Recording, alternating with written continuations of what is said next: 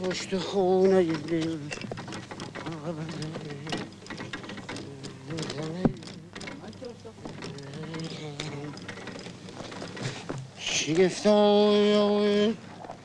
هر کرا می‌بینه فردوسی بسیار مرد بزرگی بوده. آقا وقت دارین؟ چند کلمه درباره فردوسی؟ من دلم می‌خواسته که با دیگه سر کار هستم. یک مطالبی به فکرم رسیده راجع به فردوسی. چون من خودم اهل مطالعه و شاعرم از خوندن کتاب پی بردم که عواملی که در کتاب یعنی مطالبی که در کتاب نوشته شده از نظر من همچی درست نیست. شاعری مثل فردوسی گمون می‌کنم به مادیات تکیه نداشته. مثلا در بعضی نوشته ها نوشتن که یعنی کلیتا نوشتن که یا میگن مشهوره یا نوشته ها فرقی نمی‌کنه.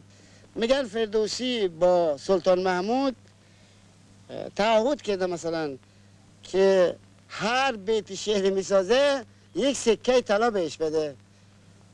اون چه از نظر من درست نیست. برای اینکه اولا که شاعر قاعدتا تحت شرایط نمی‌تونه شعر بگه.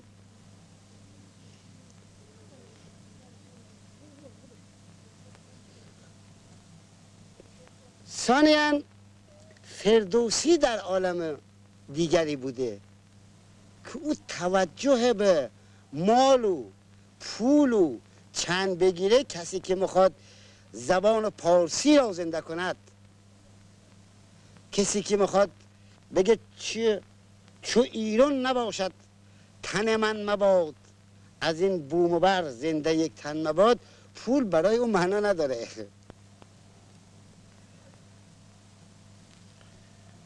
البته من نشابوریم. برای اینکه بتونم یه قدر بیشتر درباره فردوسی فکر کنم و مطالبی اگر روز پیش آمد بگم گاهی میام مشهد در مشهد کار می‌کنم و در نشابورم کار می‌کنم در مشهدم کار می‌کنم و بیشتر درباره فردوسی فکر می‌کنم.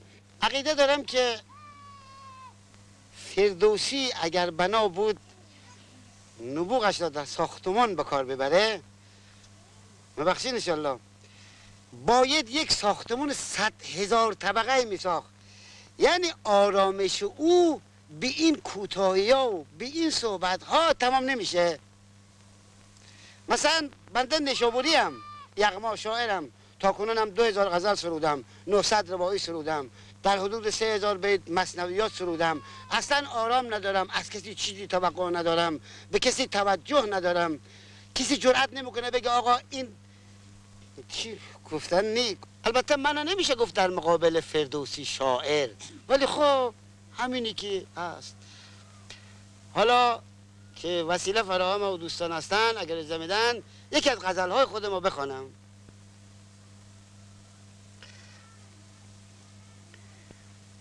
می‌خوام یعنی آتش و افکار شاعر را بگم که او به چیزی اعتنا نداره.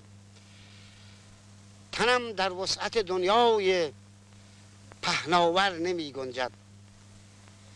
روان سرکشم در قالب پیکر نمی گنجد.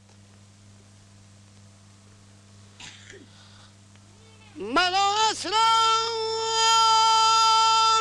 از این گفتگو آشفتگیه باید ببخشین. من اصلا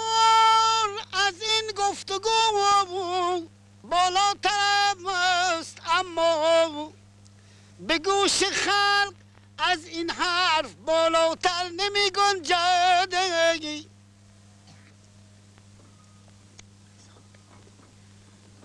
نشانه قبر مگذارید بعد از مرگ یغمانا شهاب تارم اسرار در مقبل نمی گنجد.